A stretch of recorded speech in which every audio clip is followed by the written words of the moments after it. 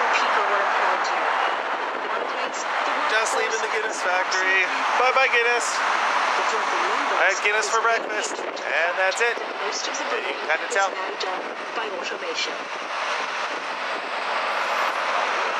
Oh, a parochial hall. What's that? I have no idea.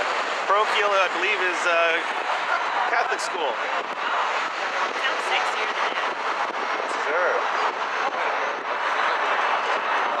got shiny pants on.